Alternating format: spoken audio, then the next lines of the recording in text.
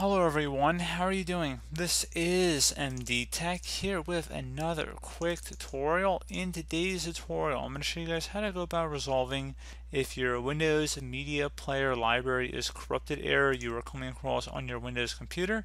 So I imagine this could definitely be a frustrating issue and in today's tutorial I'm going to show you guys how to hopefully go about resolving this without too much of a hassle here and we're going to go ahead and jump right into it.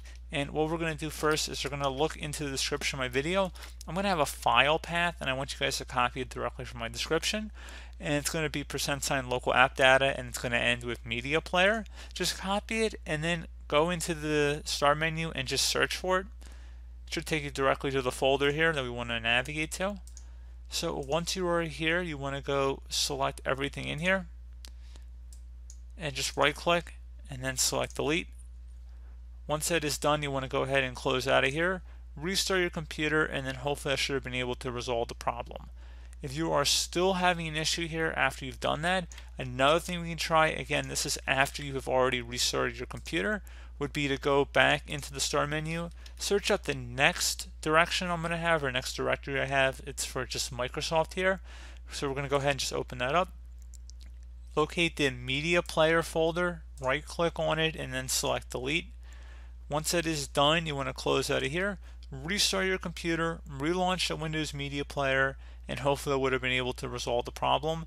A further thing we can go ahead and try here would be to open up the start menu, type in services, best match, services listed directly above app. Go ahead and left click on that.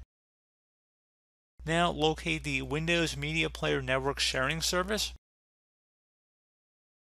Right here, double click on it, to start if for some reason it's not started. And you can also adjust it to automatic startup type. That might not be necessary, however, but you might just want to start with the start option, make sure it's running, and then applying OK. Again, I wouldn't even come into services unless the first two options did not work for you. And so hopefully that should be able to resolve the problem at that point.